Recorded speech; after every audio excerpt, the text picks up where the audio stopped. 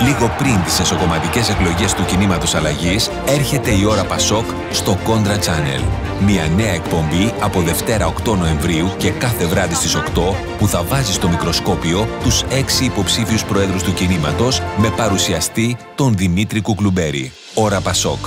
Από τη Δευτέρα 8 Νοεμβρίου και κάθε βράδυ στις 8 στο Κόντρα. Την ελεύθερη τηλεόραση.